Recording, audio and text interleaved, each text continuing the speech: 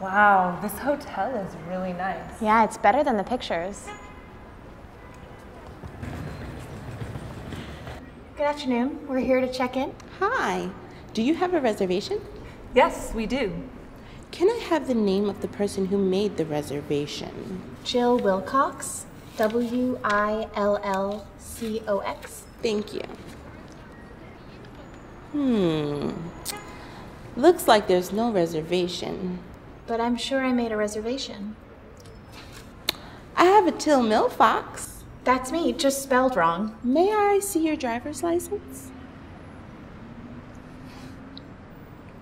But it says Jill Willcox, and the reservation is for Till Millfox. Right, the person must have took down the wrong name. I see.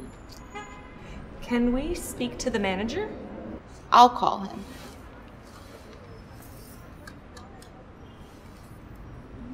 Bob? This is Pam from the front desk. I have a Jill Willcox who says the reservation was made as Till Millfox. Mm-hmm. Hmm. Huh. Okay. Thanks. What did he say? Nothing. It was his voicemail. Listen, we paid for the hotel. Here's the credit card. Very well. So you are Till. No. Yes. Uh, Never mind.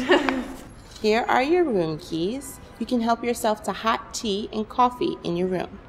You can't make noise after midnight, and you can't have any parties. Okay, no parties. Thank you.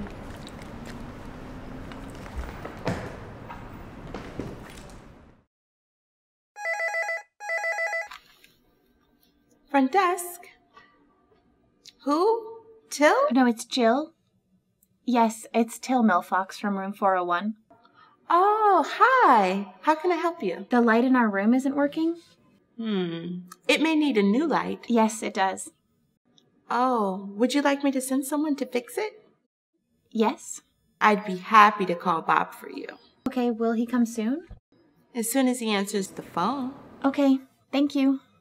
Jill, I'm on the phone. I can't see anything. Please send someone soon? I can bring some flashlights while you wait. Yes, thank you. Where are those flashlights? Here they are.